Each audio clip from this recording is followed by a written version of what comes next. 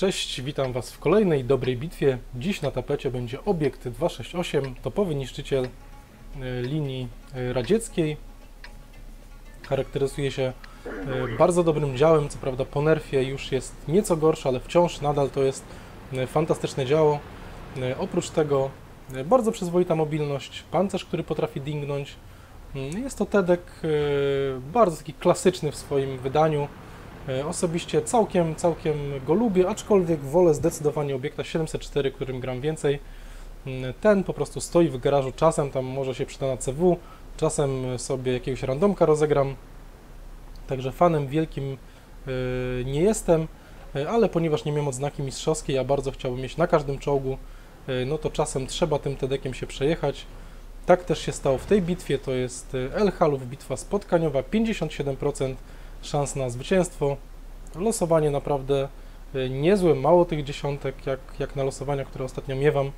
E, Jeśli gram dziesiątkami, często mam po 10. E, Oczywiście początek nieco będzie nudny, no bo wiadomo, że jesteśmy TEDekiem. Teraz przymierzenie w tego MX-a 1375. E, Pierwszy strzał bardzo ładnie przylosowało 805. E, Dobry początek.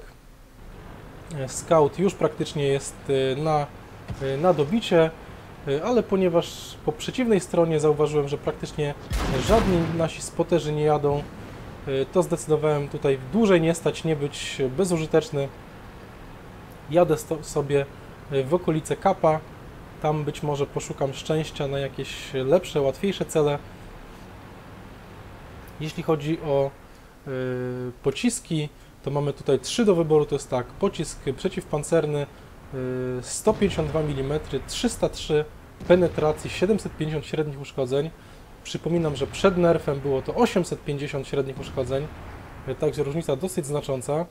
Y, Pociski premium y, aż 395 penetracji, a było ponad 400, y, również 750 średnich uszkodzeń. Osobiście chyba do tej pory użyłem jednego takiego pocisku, także w ogóle nie wiem po co je wożę chyba zamienię je po prostu na haeki, a haeki w tym czołgu są naprawdę wyśmienite, to jest 1100 średnich uszkodzeń i 90 penetracji e, na wszelkiego rodzaju e, niszczyciele e, te typu Borsuk czy, czy e, wchodzi przepięknie.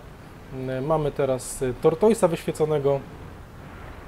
Na razie oczywiście troszkę się kręcę po tej mapie.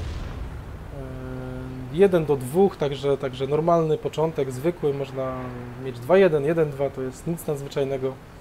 Mm, Na mordownię się nie pcham, ponieważ nie mam tam czego szukać. Nie ma co prawdy arty, y, ale zanim bym wyjechał, skręcił, przymierzył, no to już bym dostał gąskę i obrażenia.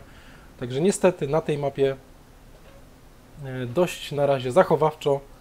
Y, Dopiero zmieni się to w późniejszej fazie bitwy. Nie chcę spoilerować, aczkolwiek ta bitwa nie będzie jakoś super hiperepicka, także nie nastawiajcie się na jakiś kołbanowy, e, ale oczywiście będzie przyzwoita, bo, bo mm, e, wpadła na tym ta masterka. Mamy ISA trzeciego, e, ładny strzał z podpałą, kolejne udane losowanie obrażeń, mamy już 1802 strzałami. Teraz na tapecie być może będzie E75. 303 penetracji to jest na tyle dużo, że można się pokusić. Nawet strzał po wieży weszło obok jarzma za ponad 800. Mm, Także jest, jest moc, dział ma, ma dużą, e, dużą siłę przebicia, 2660 obrażeń, 3 do 2. Gdzie T30 się e, zaświeciła, ja tutaj mając siatkę, e, bardzo dobrą załogę, praktycznie czteroperkową, tutaj się kompletnie nie świecę, ale i też stoję za krzakiem, także, także jest to spora różnica. No i czekamy na, na rozwój sytuacji. Na razie jest za wcześnie, żeby myśleć o przejeździe na drugą stronę. Był tam Tortoise, jest niewyświecony. Yy, WT Aufe 100, mm, Foch yy, plus Tortoise yy, stoi na pozycji, która umożliwi mu ostrzelanie mnie. Teraz Tortoise zdecydował się na dosyć dziwny manewr, zjazd na dół, próba przymierzenia gdzieś tam w sylwetkę. Niestety pocisk zniosło w górę, nie udało się zrobić dodatkowych obrażeń. Wafel strzelił niestety, znaczy na szczęście odbił się. Pozycja spalona, y, trzeba będzie coś ciekawszego wykombinować. Próba znalezienia przestrzału na E75, ale nie ma. Y, Mordownia ładnie się trzyma, także tutaj też nie mam do kogo strzelać, ponieważ oni nie wyjeżdżają. Wiadomo, że ta pozycja jest dobra, jeśli y, mordownia pada i, i można ją wspomóc. Y, E3 poza zasięgiem rysowania 6 do 3, y, bitwa bardzo jak na razie pod kontrolą. Wiem, że tam gdzieś być może czai się, czai się what the fuck. Próba strzału na ślepo. Warto czasem, gdy nie mamy nic ciekawszego do roboty, strzelić w jakąś oczywistą miejscówkę, gdzie, gdzie sami zazwyczaj stajemy i gdzie mogą być wrogowie. Często to przynosi rezultaty, y, a jedno ewentualne pudło y, tak naprawdę nic wielkiego nie robi, a może przynieść spokojnie y, po bitwie niespodziankę w postaci dodatkowych obrażeń.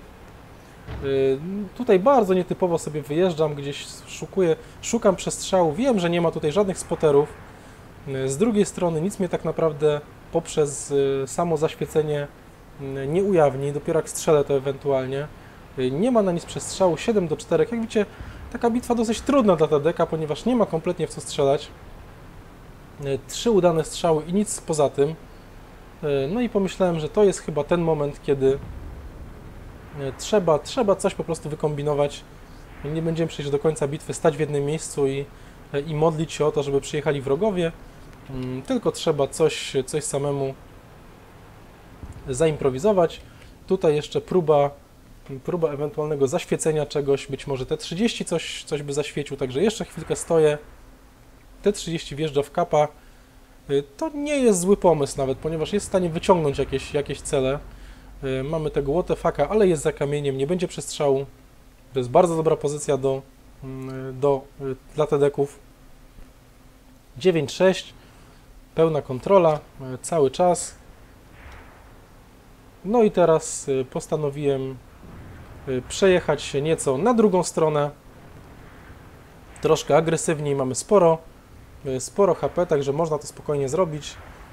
Często taki manewr warto wykonywać, ale trzeba się upewnić, że jest on bezpieczny. Wówczas możemy strzelać mm, cele, które znajdują się na tamtej mordowni, Mm, y, tylko trzeba podjechać troszkę dalej.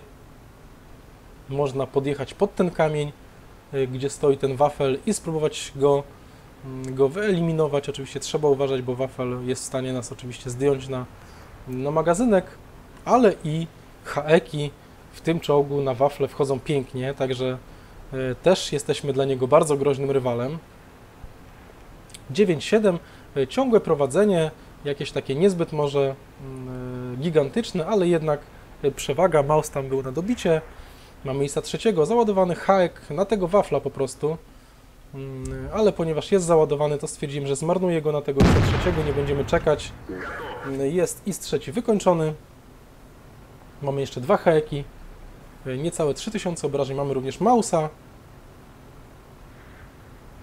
E, Ale tutaj czai się wafel. Zobaczcie na to. 1238 oberwał wafel. Przepiękny strzał. To jest moc haeków w obiekcie e, 268 i warto o tym pamiętać grając, bo jeśli byśmy go pacnęli za 700, e, a 1200, no to widzicie, że różnica jest kolosalna, a taki wafel e, schodzi nam wówczas na dwa strzały. Został jeden haek, ponad 4000 już obrażeń. E, Z większości e, dzięki temu ładnemu strzałowi e, wafla. No i teraz jeszcze jeden strzał z haeka i mamy ściągniętego wafla na dwa strzały, co myślę uważam, że jest naprawdę niezłym wyczynem. E, Drugi strzał, 4900 obrażeń. Bardzo lubię strzelać w te miękkie cele, z haeków. E, Czy to jakieś borsuczki, czy, czy wafle cudownie schodzą. E, No i teraz mamy już tylko dożynki, czyli E3 oraz T30, załadowane pociski standardowe. Haeki się skończyły, ale już by w tej, w tej bitwie nie były e, potrzebne, czyli woziłem ich akurat tyle, ile się w tej bitwie przydało, ale myślę, że zwiększę to. E, Jadę sobie po, e, po T30, ponieważ jest samotna, więc więcej expa e, dla mnie. Tam jest e, E3, cały czas się trzyma, więc zanim jeszcze tam do nich dojadą, to ja mam szansę troszkę się jeszcze tutaj e, poznęcać na T30. Mamy T30. 652 teraz słabo wylosowało. E, Jeszcze będzie jeden potrzebny strzał, e, ale spokojnie, T30 tutaj na pewno mnie nie zdejmie na hita. Nie jest w stanie mnie oczywiście objechać. E, Przebiła się dwa razy. Wykończona T30, 5700 obrażeń, 3 fragi i jedziemy sobie na dożynki, na E3. Jeśli uda się ją e, wyciągnąć, będzie przekroczone 6000. Może nie jest to jakiś bardzo e, wybitny wynik na obiekcie 268, bo e, ludzie tam kręcą i po 10 tysięcy, ale to bardziej przed nerfem, E, ale tak jak mówię, wynik bardzo przyzwoity, masterki nie było, masterka w tej bitwie wpadnie, co za chwilę zobaczycie. Jak wiecie, wszystkie te bitwy w tym tygodniu pokazuję z odznakami mistrzowskimi, także nie jest to zaskoczenie. E, Bawili się, bawili z tą E3, e, aż udało się dojechać. E, Bardzo dobrze dla mnie. Kończymy zabawę, 6400 obrażeń.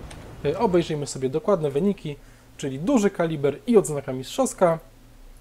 E, Obrażenia e, 6416, 1100, niecałe 50 expa, 4 fragi, y, 2,5 km przejechane, 1000 jeszcze z asysty, także bitwa dosyć standardowa, ale odznaka mistrzowska zawsze cieszy, także y, mam wreszcie to z głowy. Trzymajcie się, cześć.